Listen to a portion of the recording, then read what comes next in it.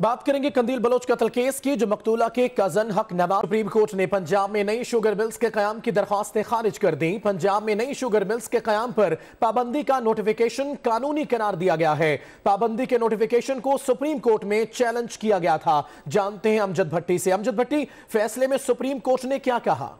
जी, बिल्कुल, Haider, supreme court ने ये जो जजमेंट, जो फैसला था, ये महफूज किया था। पंजाब में शुगर मिल्स के क्याम के हवाले से और सुप्रीम कोर्ट ने अपने फैसले में जो पंजाब में शुगर मिल्स के क्याम के हवाले से जो नोटिफिकेशन था, उसको जायज़ करार दिया है, कानूनी करार दिया है और इस हवाले से सुप्रीम कोर्ट ने जो पंजाब में शुगर मिल्स के क्याम से मुतलिक जो दरख्वास्त थी, उसको खारिज कर दिया है। जस्टिस एजाज अफजल जो है सुप्रीम कोर्ट के, उन्होंने इस फैसले को पढ़कर सुनाया है। सुप्रीम कोर्ट ने इस फैसले को महफूज किया था। एक पटिशनर आए थे, उन्होंने पंजाब में शुगर मिल्स के क्याम के नोटिफिकेशन को चैलेंज किया था जब और और जबकि हुकूमत की जानी से कहा गया था कि शुगर मिल्स के क्याम पर पाबंदी का मकसद जो कपास की काश्त है कपास की जो पैदावार है उसके तहफ़ को यकीनी बनाना है। सुप्रीम कोर्ट ने अपने महफूज फैसले में जो आज पढ़कर सुनाया है इसमें जो पंजाब में जो शुगर मिल्स के क्याम जो है उसके नोटिफिकेशन को कानूनी करार दिया है और, और इस फैसले के खिलाफ जो दरख्वास्त थी उसको खारिज कर दिया है। जी है। शुक्रिया